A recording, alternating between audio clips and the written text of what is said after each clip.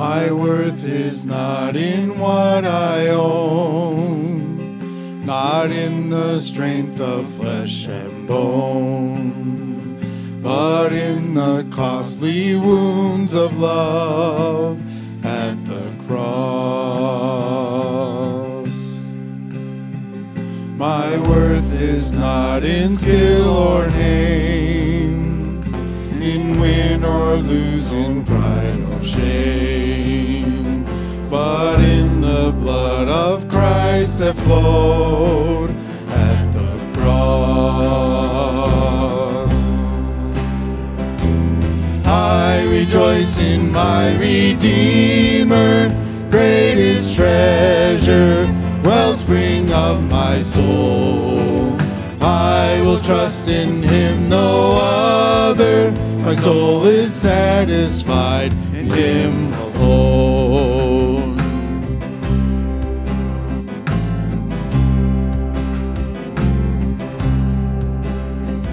As summer flowers we fade and die, fame, youth, and beauty hurry by.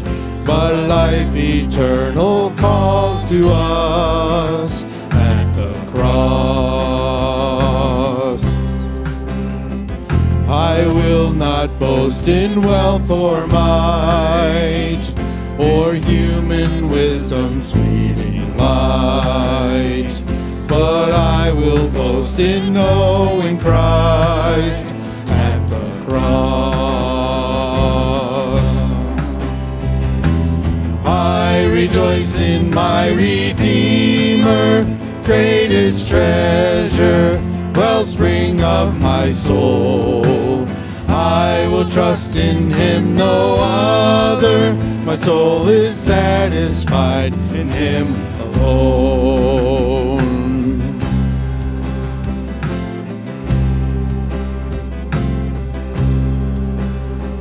Two wonders here that I confess my worth and my unworthiness,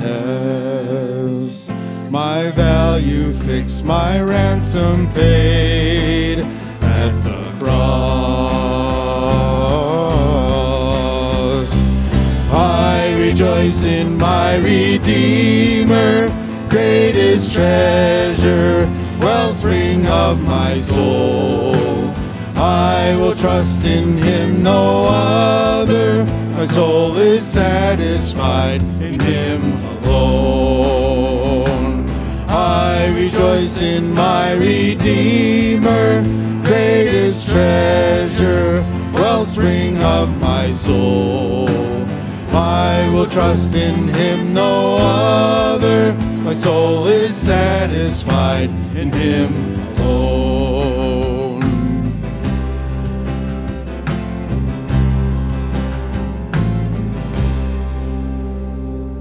Great song. Let's pray. Father, we do thank you that you promise to satisfy us and to fill us. We thank you that you uh, you care for us. This morning, as we come here to sing, to fellowship, to be in your word, to pray, would you just soften our hearts and prepare us um, to be changed? Um, would you give us a heart that loves the people next to us and is humble to your teaching, to your character? Just change us, Lord, so that when we leave here, uh, we will be different than when we came. In your name we pray. Amen. You can all be seated. Folks, I'm so glad to see you this morning. It is a uh, beautiful, beautiful cold day. Uh, thankfully, this morning I have only a couple announcements. Um, downstairs on the post, uh, one of the two posts going into the fellowship hall, there are two sign up sheets. Um, last two weeks, we've started up youth group and a Hapwa, and uh, there's sheets with dates for the rest of this spring semester um, for snacks. So if you would like to bring a snack for either one of those, you can sign up on that, cause, and we would appreciate that because uh, snacks are great. Um, second, second thing, very quickly. Last week, Mark Gasso came up, and he is not here, so I can't congratulate him. But he shared some new additions to the library, and I just Kennedy and I watched uh, this movie last night, actually, and it was uh, amazing. It was so much better than I was expecting. Um, so if you're someone that enjoys learning, um, talk to Mark. Go check out the library. He's always got new things, and he's trying to move things around so that we can go in there and make use of that. So that is a resource, and uh, we found it really good. So uh, dismantled. It deals with um, science and genetics. Talks about uh, different types of snakes and piebalds, and oh no, that was never mind. Never mind. But it's, it's something that would be right up your alley. And last thing, um, we are going to be doing communion at the end of the service. So if you have not grabbed one of the cups, there are some either in the back or downstairs. So now is a great time to do that. Please stand for the reading of Scripture today as we look at Ephesians 2 1 through 5. And you were dead in your trespasses and sins, in which you were formerly walked according to the curse of this world, according to the prince of power of the air, of the spirit that is now working in the sons of disobedience. Among them, we too form, all formerly lived in the lust of our fleshes, indulging in desires of the flesh and of the mind, and we were nature children of wrath, even as the rest. But God, but God, being rich in mercy because of his great love with which he loved us, even when we were dead in our transgressions, made us alive together with Christ. By grace you have been saved, by that amazing grace.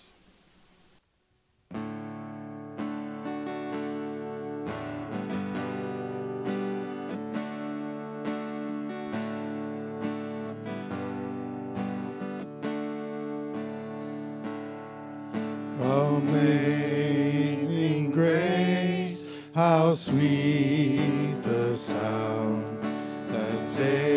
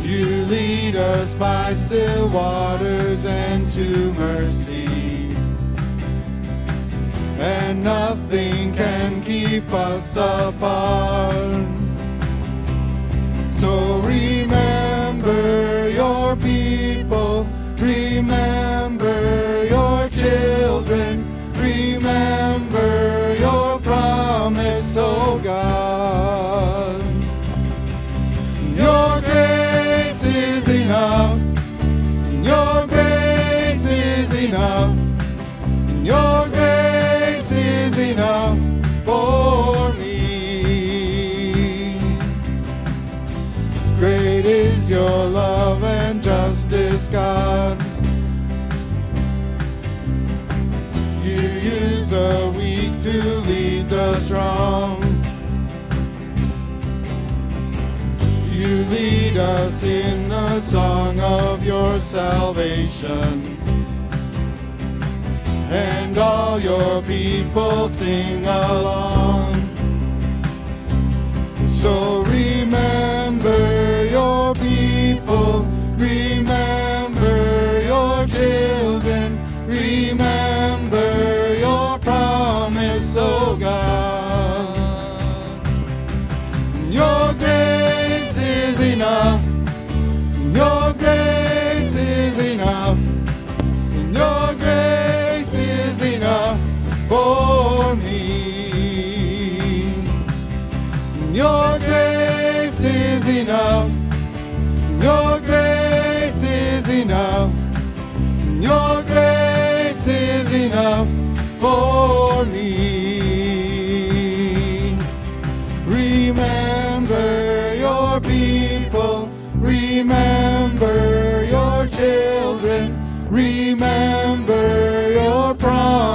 promise, oh God.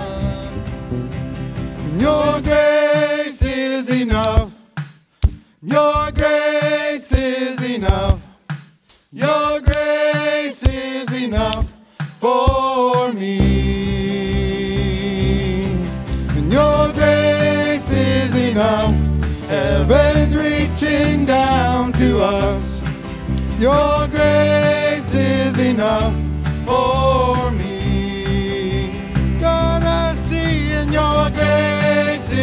enough.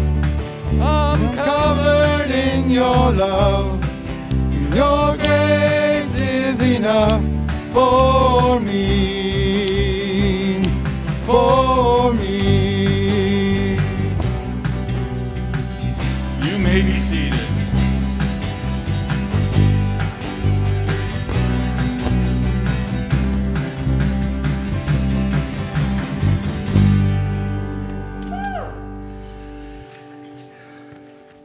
Do you believe that this morning? If so, why don't you say amen with me?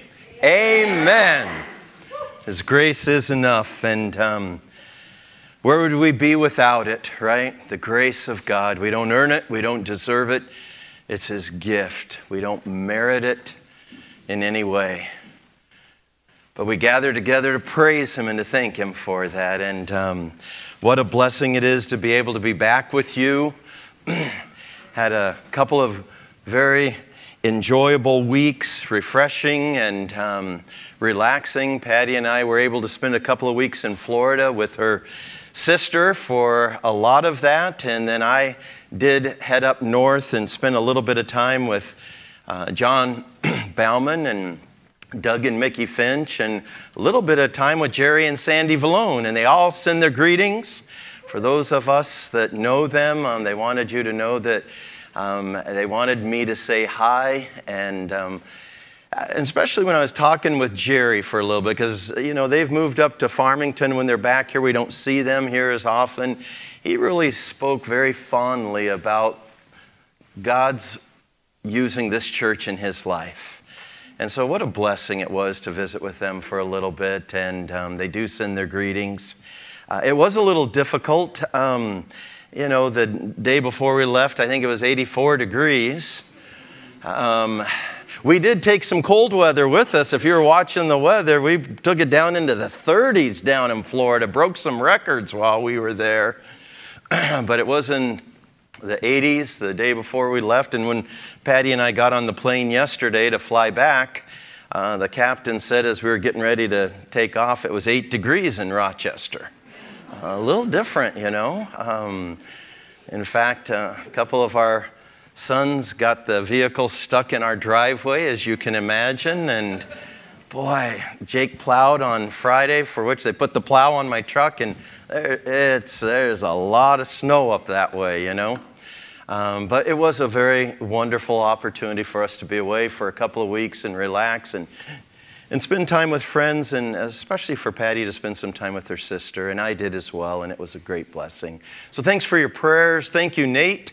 Uh, I was able to watch you both times. I tried to do it live, and I'm just not tech savvy enough, Bob. I should have reached out to you to figure out how to do it. So instead, I just watched them on the website, and I appreciate you sharing about um, Abraham and Joseph and Judah and Jesus. And um, thank you very much for your faithfulness there. And what a blessing to get together. And I just want to, right before we pray, not only thank you for your prayers, and uh, really, it's, it's wonderful to be back. You know, a couple of weeks was a long time for, I was ready a few days ago to head back. and um, what a blessing to be here and to see all of you folks and to, to be able to worship and study God's Word together. But right before we go to the Lord in prayer, I just want to mention a few things that m- many of you have probably heard over the last few weeks, but maybe some of you haven't. When we were at Patty's sister, not last week when I was there, but the week before, got a text from Priscilla Trojan that Joe Shibley had passed away. And um, just be praying for, for Priscilla and, and Jody and Joe's family and uh, just the, the challenges there, the transitions of losing loved ones. Uh, when I say Joe's name, something probably automatically comes to mind in most of your eyes. If you're thinking about any fellowship dinner or cakewalk, something about Joe, what do you think about?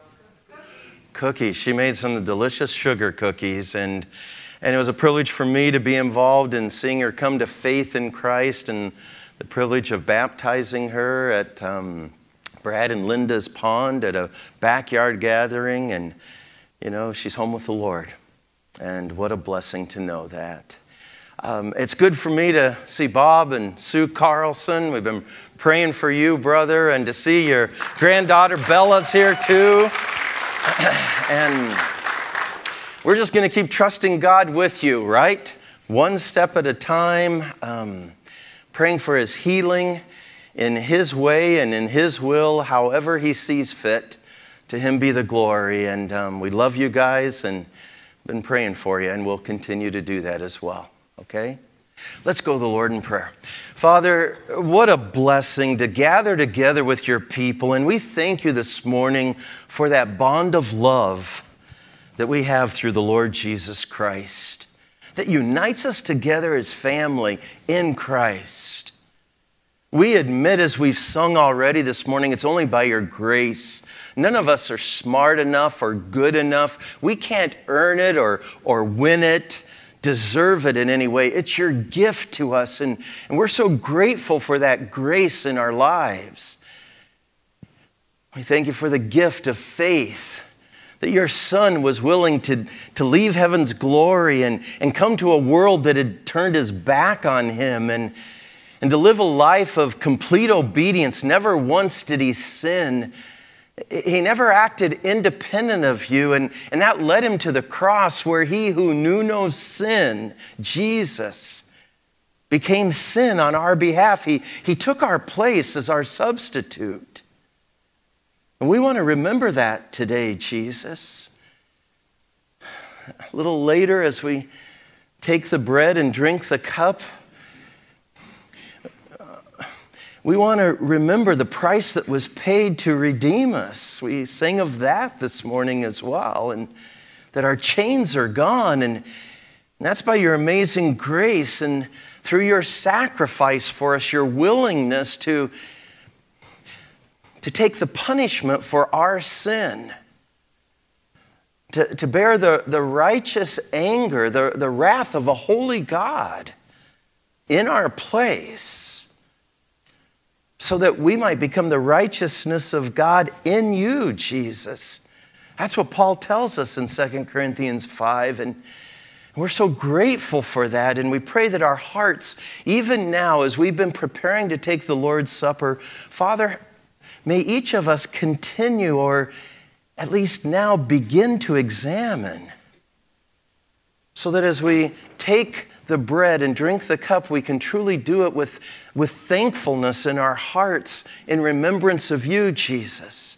Father, if there's anyone here that doesn't know you personally yet, that has never trusted Jesus as Savior and Lord, we pray that your Spirit would convict and draw and use your word as we teach and preach it this morning. And, as it's alive and active and sharper than a, a two edged sword, may it pierce right through into the inward part of that one that doesn't know you and, and show them their need of a Savior.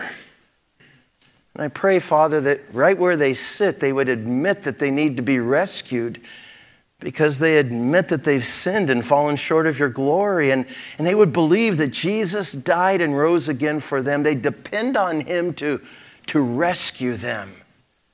They'd call out to him to save them, to deliver them. And, and as we look in the Old Testament and, and see pictures of that, thousands of years before Jesus came, the, the promised Christ, may our hearts be open and responsive so that as we gather together, we'll understand in taking these elements, it's not any way to win your favor or to somehow earn it or deserve it. It's because you've already graced us with that. You've forgiven us of sin, made us brand new. You've delivered us and made us your children. Your spirit has taken up residency within us. Jesus, your, your Son, the second person of the Godhead, is, has become our life. We've been crucified with him. We no longer live. Christ lives in us. And Father, for those of us that know you, may we truly live by faith. As Paul reminded the Galatians, this life that we live now, we live by faith, trusting, depending resting moment by moment, day by day, in Jesus who loved us and gave himself for us. Thank you that you make a real difference in our life. It's not just head knowledge, it's not just so that we can be moral or ethical. Thank you that it does bring change like that. But it's total transformation from the inside out. And Father, we confess right now that we need you to keep working in our lives. As we come together as a body, there are many needs represented here. Some of them are, are physical needs, maybe for healing, maybe financially. Some of them are decisions that need to be made. Maybe there's confusion or, or difficulty or hardship, and maybe it's relationships. Maybe it's spiritual or emotional. Father, whatever the need, we bring those together right now and we just hurl them on you. We cast them on you, knowing that you care for us. And we're so grateful you don't leave us, you don't forsake us. And neither do you waste the things through which you take us. So, Father, I pray that not only that your grace would be sufficient as it is, it's enough but I pray that each of us, as we go through those trials and tribulations, as we go through those exciting and joyous times of, of success and, and, and excellence, Father, and prosperity that you provide, not that you promise, but that you meet all of our needs according to your riches and glory in Jesus, no matter where we are, that we would trust in you and believe that you're using it for our good, even if it is difficult and hard. So, Father, with that in mind, we, we bring these special needs that we've mentioned before you for the Shibley family, for Priscilla and Jody, and for all of us. We, we miss Joe, and, And we just thank you for her salvation. And we just pray for your comfort and your peace that passes understanding, that it would guard the, the hearts and minds of, of her loved ones and her family. Father, we, we pray for the Carlsons and we pray for your, your healing hand, for wisdom for those that will be waiting on Him and prescribing things and the direction and your guidance. And, and Father, we know that you are the God of miracles. We're going to see them in your word again this morning. But we're also going to see that you're the, the God that challenges us to wait on you and to be patient and to trust you because you never fail. You are absolutely faithful. And so we pray that you would draw them close to you through this challenging time. And in each of these situations, as well as the other needs that we don't even know about right now, but maybe we'll find out about them in the next day or two, help us to reach out in, in ways to, to encourage and to comfort, to sacrifice and to share. We pray that you just continue to unite this body for your glory. Thank you for the privilege of gathering in this time in your word. Open our eyes and our minds and our hearts to understand and respond. Transform us, Holy Spirit. Change us, humble us, teach us and guide us, and draw us to Jesus, for we pray in His name. Amen.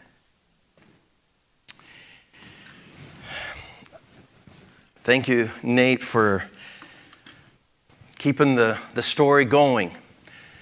You know, at the beginning of the year, we began with the theme to, to read the Bible through in 2022 and find God's worldview for you.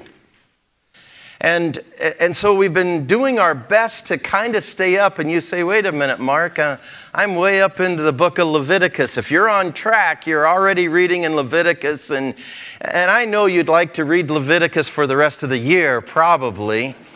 Um, I've been staying up with it as well, and, um, and I'm excited to actually get to Leviticus, but we're not going to get there today. Um, Leviticus was written by the man, by the humanly, by a man by the name of Moses. In fact, these first five books of the Old Testament are written by Moses. Um, uh, really written by the Holy Spirit as he moves Moses along to write truth, as Moses is inspired by, by God to write exactly what God wants him to write, and so what he writes is truth.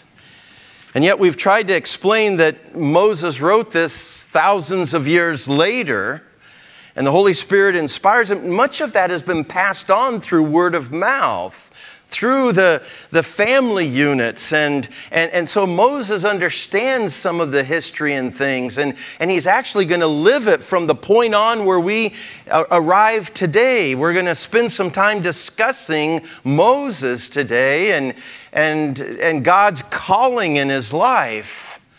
Um, but eventually, and it's probably going to be even much later than what we studied today, it's going to be uh, at least months and maybe a year or two later, and maybe for some of it, it's going to be even 40 years later beyond this. If you know, if you've been tracking, you know what the book of Numbers is going to emphasize that they don't take God at His word, and, and God's people are going to wander in the wilderness for 40 years. And, and we know that Deuteronomy is written on the basically getting ready to go into the Holy Land. And it's a brand new generation of God's people because anybody 20 years and older has died in the wilderness. And so Deuteronomy is recounting the law again. Moses is directed by God for this brand new generation, these these young people, many of them did not experience the events that we're going to read about this morning. It's the new generation. of, of, of God's people. And, and Moses wants them to remember God's presence in their life. And so it, we know it's the month before they go in because Deuteronomy tells us that's when Moses wrote that. And, and so, my point in, in, in, sharing that is that Moses is the human author, and God has revealed to him and has moved him along by the Holy Spirit to write the truth. Moses was not there when God created the world. Do you remember? Moses was not there when Abraham was born. Nor Isaac, nor Jacob, nor Joseph and Judah. He was not there. But that doesn't mean the account is not accurate. It's absolutely true and accurate because it comes from God through the human agent of Moses. And I want us to understand that some of that information has been passed on from family unit to family unit. They understood, the, the, the nation of Israel understood that God had promised Abraham a tremendous blessing and that Abraham didn't earn it. It was by grace through faith. And, and it's clear that Abraham didn't earn his relationship with God. When I was a kid, I used to think that Abraham became righteous with God by keeping the Ten Commandments. He's laughing. They weren't written for over 400 years later. He couldn't have kept them. Do you he didn't earn God's favor. God spoke to him, revealed himself to him, and, and Abraham believed him. That's what the text tells us. And it was credited to his account as righteousness. He took God, that's at his word, that's faith. That's the only way to have a relationship with God from the beginning to the end, throughout all eternity. We don't earn it. It's not by works, it's not by being religious, it's not by taking the Lord's Supper, it's not by being baptized or being here today or reading your Bible. All good things. Do you understand? But they all fall short if you don't know Jesus as Savior and Lord. And so, the, the beauty of what we're tracing as we read the Bible through, and no, it won't correspond every week with where you're reading. You might be ahead in reading. if you've looked ahead, it's not until the first Sunday in March or the second Sunday in March when we finally get to the next major person that we're going to discuss. And that's Joshua. So, I've got a few weeks to cover Exodus, Leviticus, Numbers, and Deuteronomy. You know, because the next book after that is Joshua. But the, the next significant individual is Moses. If you're tracking with us in this Old Testament survey, the big picture, you know, the Anna, Jim, JJK, split crisscross OT survey. Some of you are saying it with me, and we'll, down the road, we'll teach you more and more of it. But it's a big picture of the major events of the Old Testament. Anna, an acrostic. A- Adam, Noah, Abraham. We've discussed those. The Jim is abbreviated JM for abbreviation for Jim, and that's Joseph. A little bit of Judah, we'll say, because we, Nate included him last week. Uh, I'm teasing, but Joseph is going to be instrumental in getting the nation of Israel to Egypt, this big incubator for God to fulfill his promise to Abraham. When they come down to, to, to Egypt, it's about 70 people from, from Jacob's loins, his descendants, with their wives, their children that come down there. And Joseph is used by God to get them there. 430 years later, two to three million of them leave. And that's what God had promised Abraham. He said, Your descendants would be as the sand of the seas. I spent a little time on the beach this last couple weeks. And I picked up a bunch of seashells, and there were billions of seashells. But guess what? There's a whole lot more sand grains. Grains of sand and stars in the sky. And, and, and God's promise was you're not going to be able to count them, Abraham. When they come down to Egypt, as Nate was teaching about Joseph, as God gets him there, it's a family unit, right? It's a starting of a tribe. There's not a bunch of them there. When they leave 430 years later, it's a nation, it's a people of God like He promised. And this stuff gets exciting as we put it together. So the, the J of Jim is Joseph, the M is Moses. And then we'll look at JJK. It'll be after Moses and they get into the land. It'll be Joshua that leads them into the land for the first J. The next J will be Judges, as God uses the judges to rule his people in the land like he promised. And then they cry out for something. What do they want? They want to be just like everybody else. And so give us a king, the kingdom period. And it's united at the beginning, but eventually it divides, the split is a northern and a southern kingdom of the people of God. Both of them don't take God at His word. They don't trust Him. They're not following in faith and obedience. And it's going to lead to God disciplining them because He loves them too much to let them keep going that way. The Assyrians are going to basically, basically obliterate the northern 10 tribes. And a few years later, the Babylonians are going to carry Benjamin and Judah into captivity. And God's going to bring them back to himself. And that's the, the, the, the split and the, the crisscross stands for C for captivity. The, that's kind of the, the crisscross. And then there's going to be an R, return. God's going to bring them back to the land. And then crisscross, an abbreviation, it's kind of like this a crisscross, the C, captivity, R, return. The S is, I'm not going to tell you. It's silence. 400 years of silence only to be broken by John the Baptist, the last Old Testament prophet, saying, Get ready, turn. My son says it, his, his message was turn or burn. His message was you need to repent and get ready because Messiah is right here. And that's our Old Testament. That's where we're going. And that's the big picture. And you're reading along and we're doing this together. But it's not just so that we can have this information in our head, it's so that we can see God's purpose for our lives, His heart revealed to us, His worldview. How do I make decisions in a world that is lost and separated from Him? And I want us to see that as we, we look at the, the, the people of God that he's raising up in Egypt. Egypt was the powerhouse back then. And they worshiped a bunch of gods and goddesses, little g. And it impacted the nation of Israel. They weren't, as they're growing there, you don't see anything until they finally leave Egypt about this organized worship of God. Do, do you understand? And then when Moses is up on the, the mountain with God receiving the Ten Commandments, if you remember, and he's coming down with the law, they get a little antsy. He's been up there a long time, right? So what do they do? They revert back to their old influences from Egypt. They make a calf. Um, um, they take their gold and their earrings and they put it together and they fashion this and they begin to worship a cow, this calf, the golden calf. Do you see? God's people are always instructed to be in the world but not of it. Its influence is all around us. Sometimes it's gradual, it's always subtle, it's very deceptive. But as we're studying and seeing God's big picture, we need to evaluate and examine my life. Who's calling the shots? God and His Word?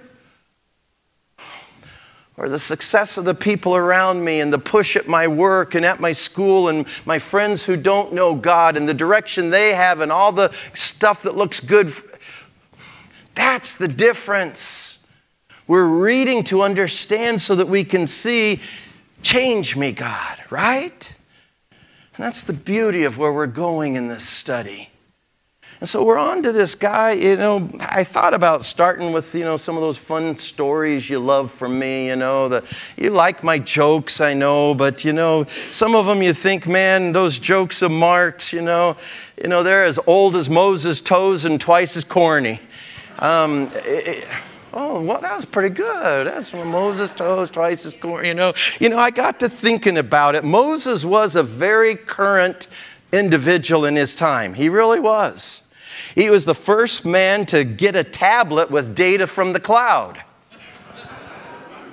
You, you, know, think about it. He, he really was. And I got to thinking while I was down there relaxing, you know, for a little bit. He, he actually got two tablets, you know, and a lot of data from the cloud. You'll see that when we get there, the presence of God was represented in this cloud as Shekinah glory, and at night a fire, a shining. And uh, anyway, I don't, if I have to explain it, it's never mind. Um, but I did think a little bit about that this morning. I was wondering, uh, you know, how do you think Moses, you know, made his coffee?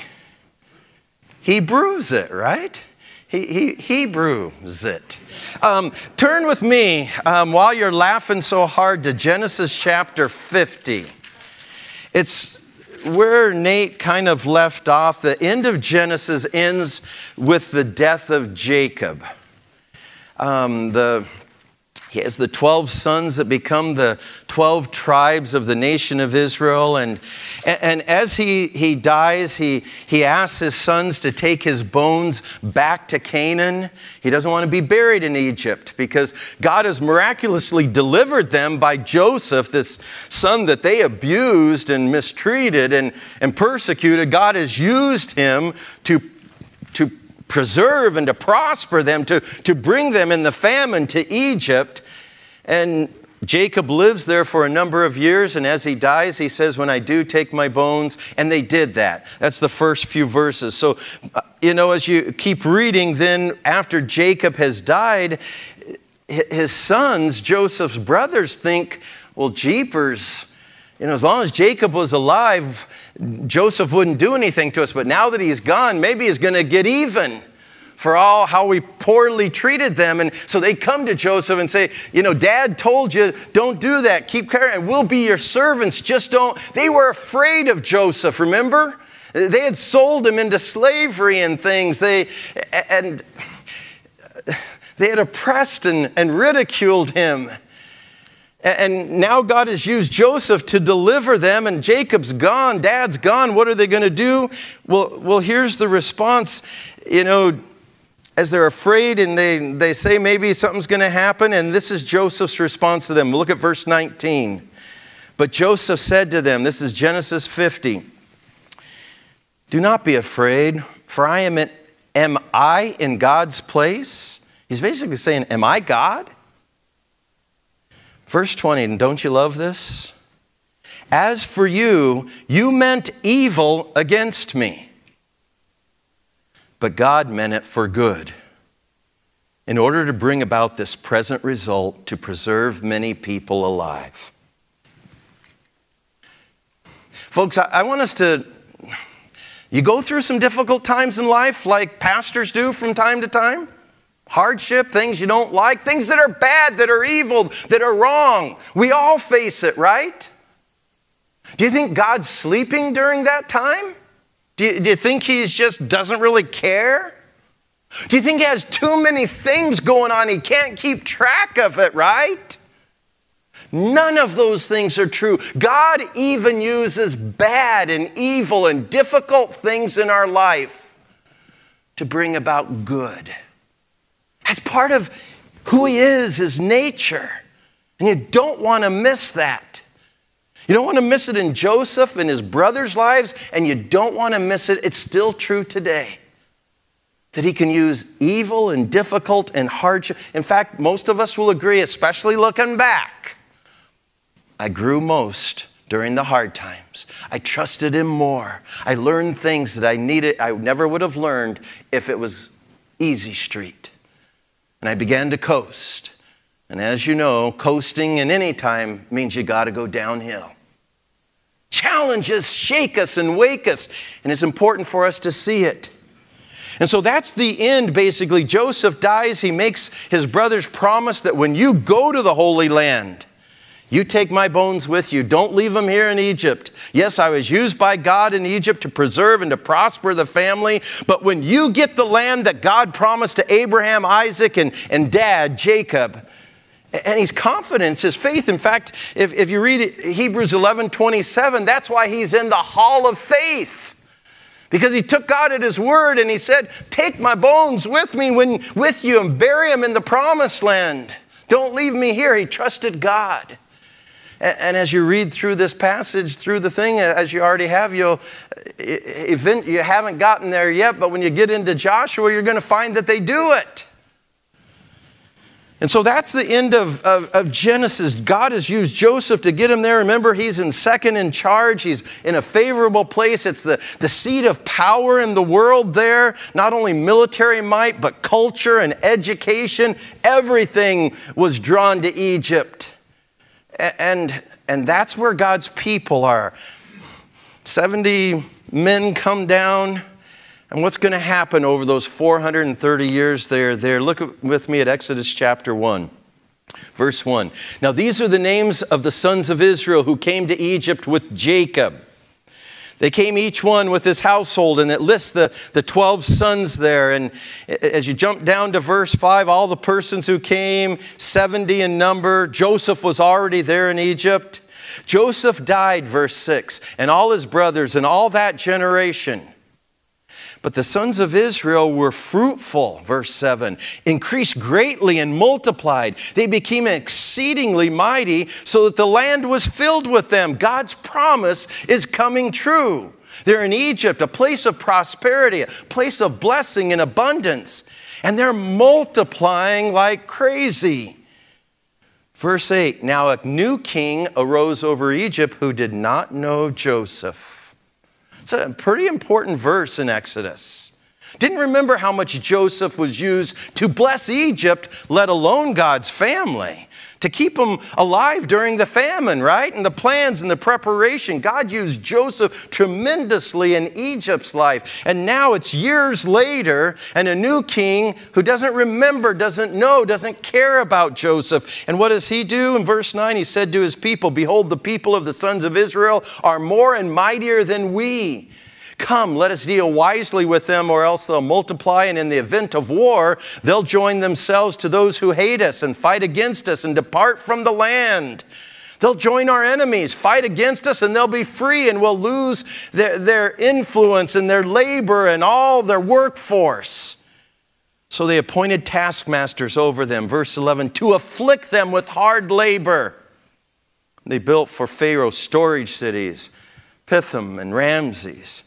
But the more they afflicted them, the more they multiplied, the more they spread out, so that they were in dread of the sons of Israel. The Egyptians compelled the sons of Israel to labor rigorously, and they made their lives bitter with hard labor and mortar and bricks and all kinds of labor in the field, and their labors which they rigorously imposed on them.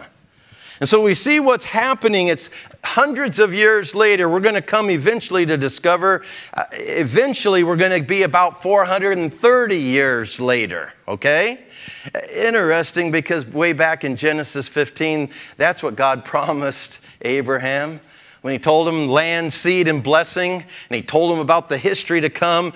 He says they're going to be there for over 400 years. I'm going to raise up my people. This is hundreds of years before. God knew it was his plan for his people. And there's some other things he's going to say. Not only is he going to get them out, he says, You're going to plunder them when you leave. When I rescue you from Egypt, from the slavery and hardship you're experiencing, I'm going to bless your socks off. They didn't have socks, they had sandals probably back then, but you get the picture, right? It's just going to be a tremendous time. And so, what we start seeing here is now we're in Egypt, it's hundreds of years later. And if you were to continue to read in chapter one, as you did probably a number of weeks ago, and you're reading through, you're going to find that as you get to chapter two, it, it, what's going to happen is it's not working. So the Pharaoh's going to say, start to the midwives, kill the male babies of the Hebrew children because it doesn't happen. God providentially is raising up his people, and humanly, Egypt is trying to stop it, and it's not working. You get it? And along that time, just happened to happen, as luck would have it, coincidentally, nah, by the providential, sovereign hand of God, as you start into to chapter 2, you read about a birth of a little baby boy named Moses. And his mom won't throw him in the river Nile like they were instructed. and said she does put him in the river, but she makes a boat, an ark to carry him, you know, remember? And, and God providentially works it out so that Pharaoh's daughter goes down to the Nile to bathe and sees this little, sees the boat, comes over. It's a little Hebrew baby. Who's watching behind in the bulrushes there? Yeah, Moses' sister being at the right place at the right time. And, and she sees Pharaoh's daughter loving on that baby. So she runs up, Do you need a, a Hebrew mom to take care, of, to nurse? And she says, Yeah. So Moses goes back to, to mom and dad to be nursed until he's able to come to Pharaoh's court and he becomes the daughter of, of the son of Pharaoh's daughter. And he's raised for 40 years with all the luxury and the benefit and the blessing, the bounty of Egypt. We've already told you it's the powerhouse at that time. And what is it? Um, the phrase spared nothing. You know, Jurassic Park doesn't have a new one. What's the guy keep saying in that thing? Someone say it loud. Spared no expense. Remember? Never mind. You, eh, there was no expense wasted on Moses. Moses has everything. He's trained, he's educated, he's skilled, he's taught war and weaponry and athletics and probably different languages and, and fed the best stuff for 40 years. He grows up as a grandson, in essence, to, to, to Pharaoh. Only God, you know? Um, but something happens. Verse, you know, 10 through 15, I, I can't remember. Mindy, do you have starting in verse 10 next? Yeah, let's turn to Exodus 2, verse 10. The child grew, and she brought him to Pharaoh's daughter, and he became her son, and she named him Moses, and said, Because I drew him out of the water. Now it came about in those days when Moses had grown up Nothing else is told to us about that until you get to the New Testament and it talks about how God treated and raised him. And he eventually got to this point where he didn't want to be called the son of Pharaoh's daughter. He wanted to unite and be with his people. God's calling in his life was evident and he was responding. And that's taking place in verse 11. Not very many details are covered in the historical narrative that we have because by verse 11, he's 40 years old. It came about in those days when Moses had grown up that he went out to his brethren and looked on their hard labors and he saw an Egyptian beating a Hebrew one of his brethren. And he feels with them and he anoints. God's working in his life to draw him, to prepare him for a, a, task to serve God. And God's already equipped him in ways that Moses might not have fully understood at this point. And he relates to this Egyptian as being too hard on one of his Hebrew brothers. And I love what it says in verse 12. So he looked this way and that. Don't you love the details that are. Now, don't misunderstand. Who did we say is writing it from a human perspective? Don't you think he remembered that years later? Jeepers, you remember that day? Man, God was drawn. I felt with the brethren. Man, I'm seeing this. But for anybody that way, anybody that way, it's all clear. He kills the Egyptian. Nobody's going to know. Right? Verse 12 says, When he saw there was no one around, he struck down the Egyptian and he hid him in the sand. He buried him. He went out on the next day, and behold, two Hebrews were fighting with each other. This is brother against brother. I mean, not in the true family, but they're the family of God. You know what I mean? The nation of Israel. They're fighting with each other. And he said to the offender, Why are you striking your companion? But he said, Who made you a prince or a judge over us? Are you intending to kill me as you killed the Egyptian? And he must have, you, you knew, I looked that way. No one saw. They saw. Then Moses was afraid and said, Surely the matter has become known. Look at verse 15. When Pharaoh heard of this matter, he tried to kill Moses. But Moses fled from the presence of Pharaoh, settled in the land of Midian, and he sat down by a well. If you were to continue to read through Exodus, you're going to find that Moses is going to go out to the wilderness, to Midian, and sit at a well. He's going to meet his wife, water the camels, help with all that kind of. God providentially leading and directing, Moses responding. He's going to come to the family.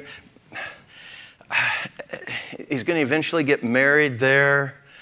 And he's going to be a shepherd for the next 40 years in Midian. He's 40 about now. He's going to be out on the backside of the wilderness for 40 years. He's been pre- prepared by Egypt for 40 years. He's going to be prepared by God for 40 years. God was preparing him through Egypt too. But do you see the mix as God's bringing this leader for his people to rescue him? He's going to take care of the flock for his dad and things, and, and that's what's going to take place. Look at, and so he's there for 40 years um, away from the people. taking care of the, the flocks. In chapter 3 verse 1 says now moses was pasturing the flock of jethro his, his father-in-law the priest of midian and he led the flock to the west side of the wilderness came to horeb the mountain of god. Anybody know another name for that mountain? Wow. Did you just get goosebumps you shouldn't there. Sinai, something else is going to happen at Sinai eventually. And, and that's where God brings him. He's at the mountain Horeb. Verse 2 The angel of the Lord appeared to him. This is to Moses in a blazing fire in the midst of a bush. He looked, and behold, the bush was burning with fire, yet the bush was not being consumed. Right? It's burning, it's on fire, but it's not taking away the, the bush. It's not, it's not deteriorating. So Moses said, I got to go turn and see what it's there. It's not being burned up. Verse 4 When the Lord saw that he turned aside to look, God called to him from the midst of the bush and said, Moses, Moses. And he said, Here I am. Then he said, Do not come near here. Remove your sandals from your feet, for the place on which you're standing is holy ground. Wow.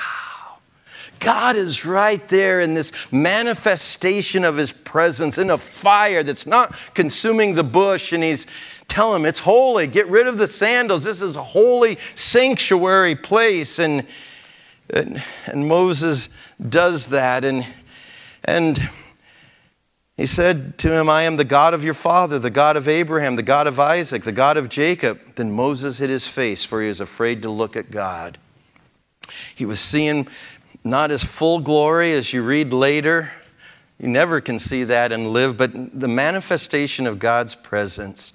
And God says in verse 7 I have surely seen the affliction of my people who are in Egypt. I've given heed to their cry because of their taskmasters, for I am aware of their sufferings. So I've come down to deliver them from the power of the Egyptians, to bring them up from the land to a good and spacious land, flowing with milk and honey, to the place of the Canaanite, Hittite, Amorite, Perizzite, Hivite, Jebusite. Again, I always say that just notice as you're reading through here, he lists those people because those are the people God is going to tell him to come in and destroy. And he's writing it just a few months before they've got to go do that. They've got to see God's hand there. And I've heard the cry, the oppression, the Egyptians are oppressing me. We're, we're running out of time. I, I was kind of glad to see you run out of time a little bit too, Nate, every once in a while up here. Um, you know, God's going to call them out He's going to lead Moses to go back. You've read it yourself, how God's going to say, I'll do these things. Moses says, I can't, I'm not able. And God says, I never said you were. I'll be with you. I'm the one that's going to do it. Remember, it's God that's going to do it through Moses. He's prepared him for 80 years for this task to go redeem his people, to rescue them from slavery, to, to be the agent, the, the leader that brings redemption of God's people. 70 men went down there 430 years later, two to three million are going to be led out by God. And Moses says, I can't. And he says, I know, but it's me through you. Trust me. And, and eventually he says, I can't speak. I stutter. He says, Well, your brother, I'll let him talk. And he prepares Moses to go back. Remember, Moses says, Who am I going to say? What am I going to say is your name? And he says, I am that I am. It's the verb to be, that God exists and He always exists. I am and I will be. The, interesting to think of God in those terms that He always has been, and, and the, the idea of Yahweh and Adonai being combined by the Masoretes who wrote the text because they couldn't pronounce Yahweh. There was no vowels in it, so they wouldn't. So they take the, the idea of Adonai, which means Lord, and put those vowels in, so it comes up with Jehovah. I am that I am. And, and he's telling them to go back. He goes back to his people. You see, I'm kind of in the rush mode right now. Um, he goes back to, because I'm sure I've got stuff clear into chapter 12 for Mindy. And, and we need to at least touch about 12 because it's something very significant to what we're going to do, what we're going to remember today. Anybody know what might be in Exodus 12? Uh, Passover. God raises them up, sends them back. The, the leaders believe. But Pharaoh doesn't. It just gets harder and harder. And I love that. You know, God has something beautiful planned for his people. And it's become kind of hunky dory for 425 years. I don't know how long. But he made it hard for a while so they should want to leave. Do you know that? That's important. He already knew I'm going to do it, but if he came in there living in the lap of luxury, eh, later, Lord, I'll do it down the road. Wait till the commercial. Wait till. Do you know? It makes it hard, so they want to go. And you know what he does? He does these miraculous events before Pharaoh and the people of Egypt. We call them the 10 plagues, right? And you can read that. And honestly, I didn't give her those chapters. There was no way we were going to do that. You've read that. You can study those yourself, but you can see each of those plagues show God's authority over one of the Egyptian deities that they worshiped. Each one shows his authority and his power over them. Initially, those things impact everybody, and his magicians do something similar to it, and Pharaoh's not moved. But eventually, it starts being selective, and it's only getting the Egyptian people the Hebrew people aren't experiencing it. You get what I mean? And, and you can see the Egypt's being ravaged by God. And, he's, and Pharaoh's heart is hardened, he's not responsive. And then you come down to the last plague, and that's where we need to at least look because this plague is the only one that requires faith on the part of God's people. Everything else, they're just experiencing it as it goes. They're watching their neighbor Egyptians getting destroyed, you know? And Pharaoh's, it's, it's just happening over and over. The people of Egypt are going to want to push them out, so much so that they're going to say, Here, take my gold, my silver, my. They're going to be plundered like God promised hundreds of years before. This is the miraculous working of God. And you come to this last one, the death of the the firstborn, the, the, the death angel. Remember, it's the, the last plague. And this one's going to require some faith and some obedience on God's people. The, the, instructions are given in, in, in, chapter 12 of Exodus, that, that first Passover, and what they need to do. They need to take a spotless lamb or a goat, watch it for two weeks, make sure it's no blemish, no infirmities, no problems. And then at twilight, they're supposed to slay that and take its blood of the spotless lamb and put it on the, the lintel of the door and the doorposts. And then they're supposed to eat it with bitter herbs in there under the protection of the blood. Are you getting this, folks? The, this beautiful picture of this feast called Passover and the Feast of Unleavened Bread and God's plan and the preparation, the details are given in, in chapter 12 here. And this unblemished, spotless lamb, his blood is shed for the protection so that the death angel will pass over those. But, folks, you could have known all about that.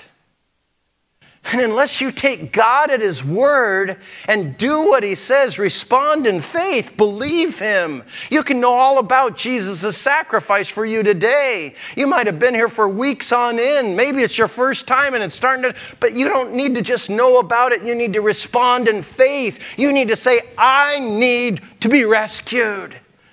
I need to be delivered. I need what only God can give me. That's what it was for the Hebrews. And the beauty is, those that took him at his word and did what he said and placed the blood there, the death angel passed over them. But all the other firstborn sons died. No wonder Pharaoh says, Get out of here. Get out of here.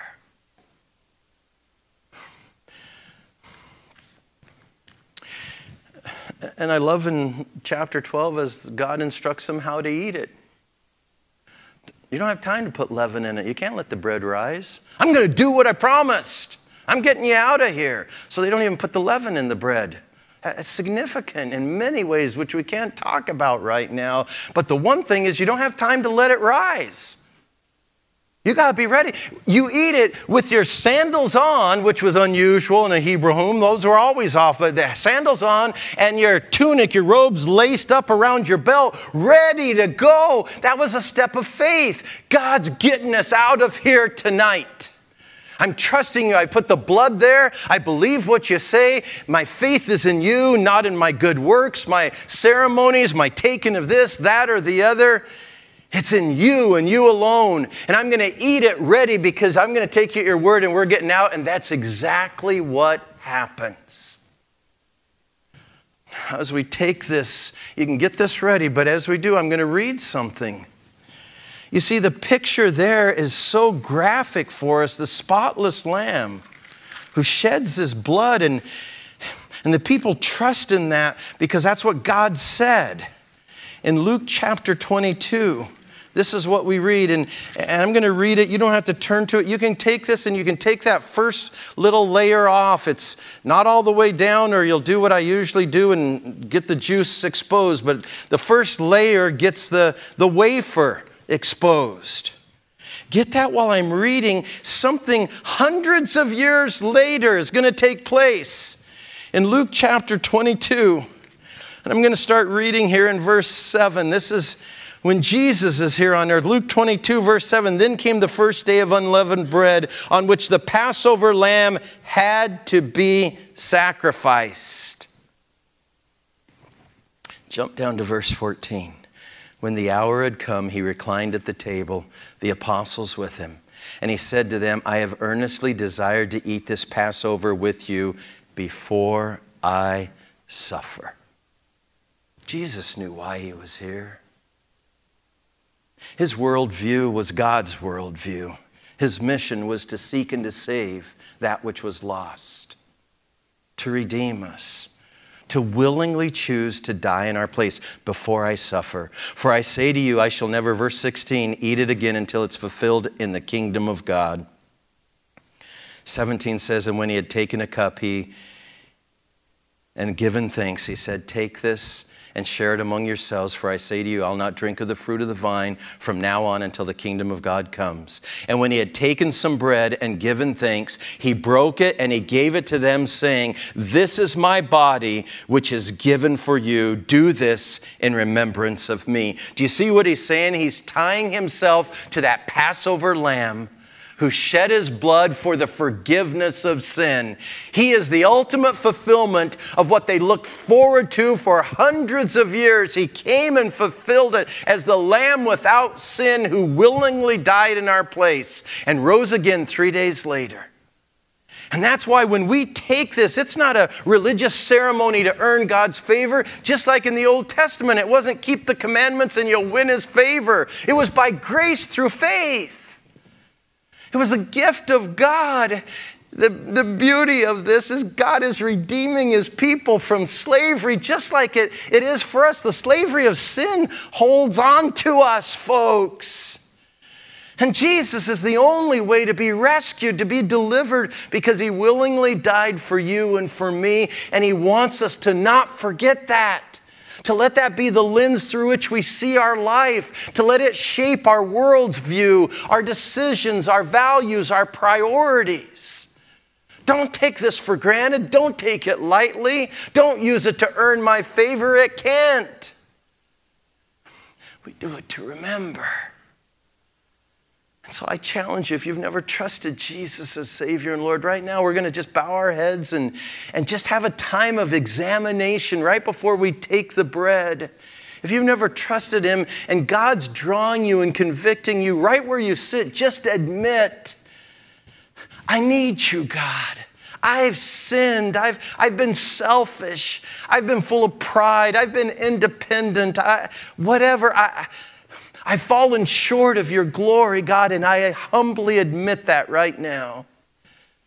And right now, I believe the only way to be forgiven and made right is to put my faith in Jesus to rescue me. Just tell him that right there in your mind, in your heart, as you're talking to him. I believe Jesus died and rose again for me. I'm depending on him. I believe. Right where you sit, call out to him. Just say, Come into my life and forgive me. Cleanse me. Make me brand new. Rescue me. Be my Lord and Master.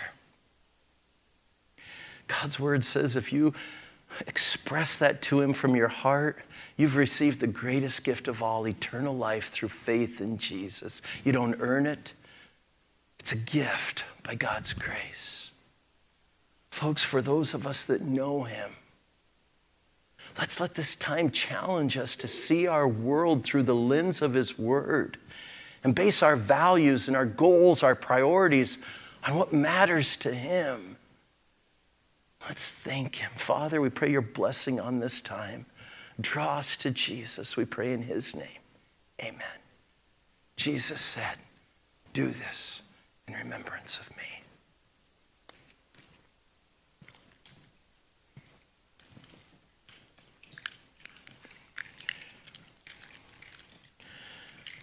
Without the shedding of blood, there's no forgiveness of sin. And that's what the cup reminds us that He willingly took our place and paid for our sins. Thank Him, and let's do this in remembrance of Him.